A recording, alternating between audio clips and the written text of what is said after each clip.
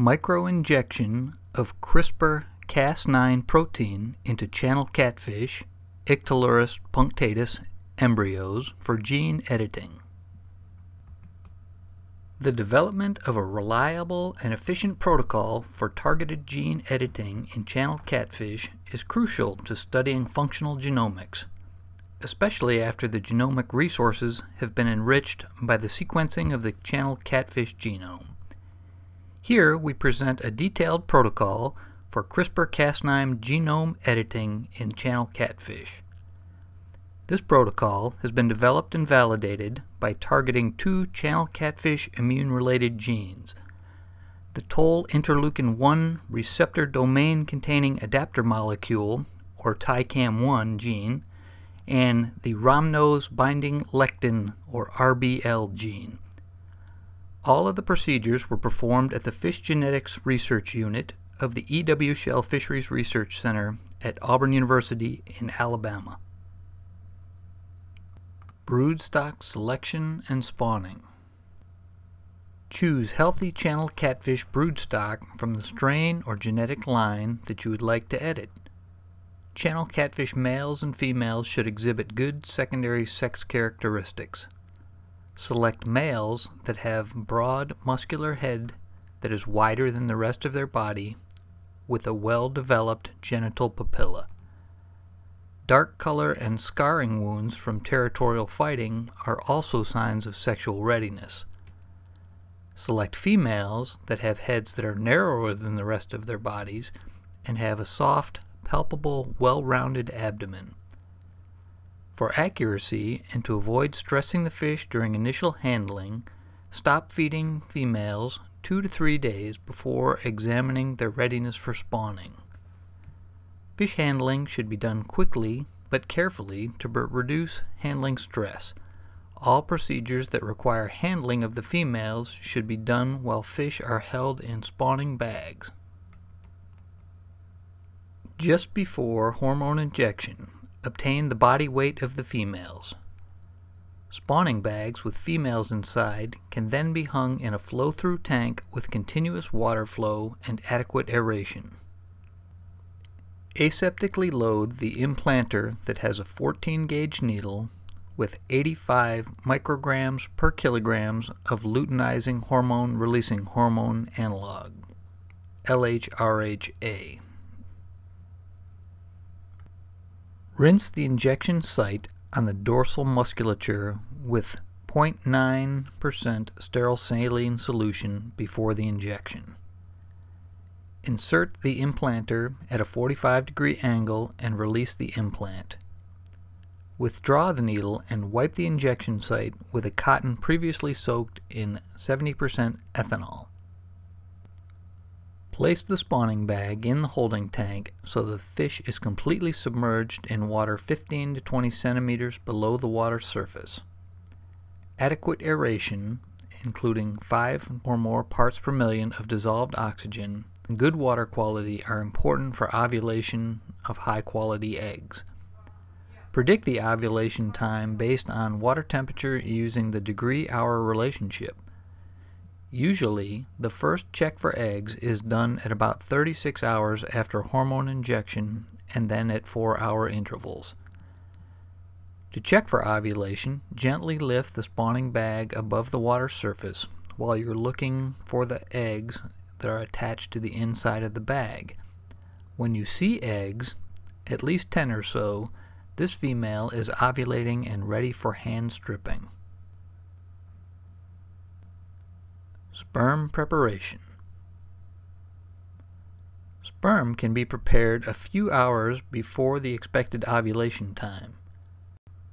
The male fish are euthanized and the testes are collected in a small weighing pan.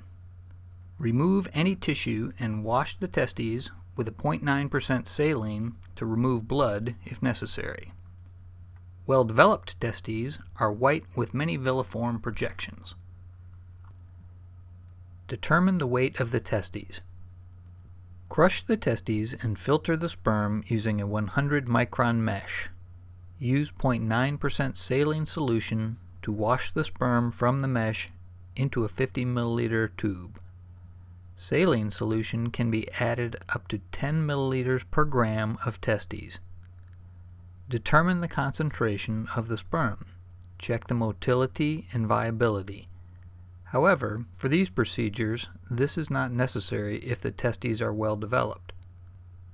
Sperm can then be stored at 4 degrees C and should be used within 24 hours after preparation. Egg collection and fertilization. Place the female in an anesthetic solution containing 100 parts per million of buffered tricane methane sulfonate, or MS222, with sodium bicarbonate until the fish is completely anesthetized. Apply a very thin layer of vegetable shortening, like Crisco, to a 20 centimeter diameter clean, dry spawning pan. Carefully remove the fish from the spawning bag and dip it in 0.9% saline to wash off the MS222. Dry the fish off completely using a clean towel, avoiding removal of the mucus layer on the fish body surface. Apply vegetable shortening to the area around the vent, including the pelvic fins, to prevent attachment of the eggs during hand stripping. Hand strip the eggs into the greased spawning pan by applying gentle pressure to the ovaries. Good eggs should flow freely, be golden yellow in color, and have minimal or no clumps or blood clots. Avoid contact between the eggs and the water before fertilization, as water can stimulate the micropyle closure. To fertilize the eggs for microinjection, transfer 2 to 300 eggs to a greased spawning pan. Add 1 to 2 milliliters of the sperm solution to the eggs and mix gently. Add fresh water to the eggs to activate the sperm and eggs. Enough water should be added to slightly cover the eggs. Gently swirl the eggs for 30 seconds. Fertilization should occur in 1 to 2 minutes. It's important to fertilize the eggs in a single layer. Catfish eggs adhere to each other, making it difficult to microinject multiple layers of embryos. Add more fresh water to the fertilized eggs and allow the eggs to harden for 10 to 15 minutes. The remaining unfertilized eggs can be covered by a wet towel to prevent drying and can be fertilized over a few hours. Fertilization can be done in a staggered manner one batch of 2 to 300 eggs can be fertilized every 30 to 60 minutes to ensure the continuous supply of embryos at the one cell stage for the microinjection and control non-injected embryos. Avoid contact between the wet towel and the eggs. In this protocol, eggs fertilized within 2 to 3 hours after stripping were efficiently microinjected and seemed to have similar success as eggs fertilized immediately after stripping. Needle pulling and loading. Pull a 1 mm OD borosilicate glass capillary into two needles. Store the needles in a paper box with a piece of sponge in which several incisions have been made. To avoid breaking the needle, the diameter of the sponge should be smaller than the length of the needle stem. The needle tip can then be opened by breaking a small piece of the needle in the finest region using a sharp object. Alternatively, the needle can be opened by pinching off the thinnest region of the tip with a pair of forceps under the microscope. Prepare the injection solution by mixing guide RNAs with Cas9 protein. Phenol red can be added to color the guide RNA Cas9 protein mix with phenol red constituting up to one-third of the total volume. The mixture is then incubated for 10 minutes on ice before use. With the microloader, load 5 to 10 microliters of the guide RNA Cas9 mixture into the injection needle by inserting the microloader into the needle stem and expelling the mixture slowly while retracting the microloader tip. Avoid trapping air bubbles inside. Attach the needle to the micropipette holder and ensure tight connection, and then attach the holder to the micromanipulator. Ensure free and stable movement. Apply pressure for microinjection by opening the nitrogen cylinder and adjusting the pressure regulator. The volume of injection can be affected by the pressure, the needle diameter, and the duration of the injection. To determine the volume you wish to inject, inject into a drop of mineral oil placed on a hemocytometer. If needed, the pressure and the needle diameter can be adjusted to increase or decrease the volume of the injection. Inject multiple times in the mineral oil to ensure consistent volume. Microinjection of catfish embryos. Apply a very thin layer of vegetable shortening to a 100 millimeter clean petri dish. Transfer 50 to 100 eggs from the fertilization pan to the petri dish and cover them with Holt-Fretter solution. The eggs should be lined against each other in a single layer. This alignment should hold the eggs in place during the microinjection process. Place the petri dish with the eggs on the stage of the microscope and hold it with one hand. Lower the needle with the other hand until it pierces the chorion and yolk in a single smooth movement. The tip of the needle should be as close as possible to the blastodisc before delivering the injection material. Depress the pedal and deliver the injection material into the yolk. If the blastodisc is not clearly visible, then the injection material can be spread into different locations throughout the yolk. To do that, the needle is inserted to the far end of the yolk. Then press the pedal and withdraw the needle simultaneously. This spreads the injection material at different locations throughout the yolk. 50 nanoliters containing 2.5 nanograms of guide RNA and 7.5 nanograms of Cas9 protein can be injected into the yolk without any problems. Retract the needle smoothly as to not damage the egg. Then move the petri dish to inject another egg with the same procedure.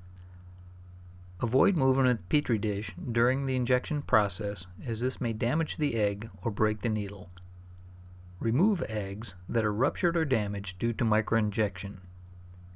Injection can be started 15 to 20 minutes after fertilization and continue as long as the embryos are still in the one cell stage. Injected embryos are placed back in Holt-Fretter solution with 10 ppm of doxycycline and continuous aeration for 6 to 7 days until hatch. The solution is changed daily and dead embryos are removed. This figure shows the CRISPR-Cas9 induced mutations in the TICAM1 gene of channel catfish.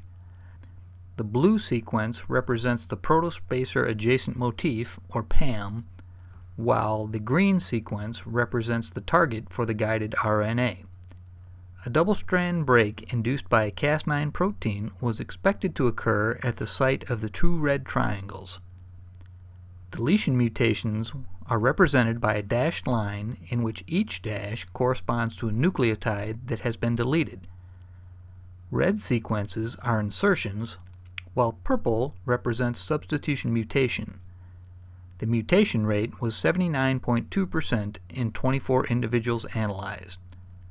Mutations resulted in removal of a few too many amino acids from the protein, changing the downstream reading frame and premature termination of translation. In most mutations, more than 80% of TICAM1 predicted protein sequence was truncated due to a premature stop codon.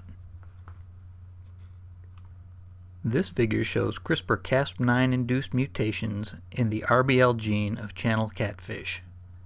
Exonic sequences are uppercase, while intronic sequences are lowercase letters.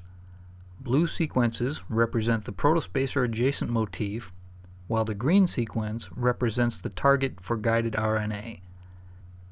A double-strand break induced by Cas9 protein was expected to occur at the site of the two red triangles. Deletion mutations are represented by a dashed line in which each dash corresponds to a nucleotide that has been deleted. Red sequences are insertions. The mutation rate was 87.5% in 40 individuals analyzed. Deletions ranged from 5 base pairs to 183 base pairs, while up to 20 base pairs were inserted. More than 70% of indels resulted in truncated protein that was 10% or less than the length of the wild-type protein. In this video, we demonstrated how to microinject CRISPR-Cas9 protein into one-cell channel catfish embryos. The procedures described are simple, rapid, and efficient, and successfully achieve gene knockout in two channel catfish genes, TICAM1 and RBL. Depending on what is being injected, the protocol can be modified to include other biologically active substances. It can also be modified to microinject other catfish species or other fish species that have similar egg structure and composition.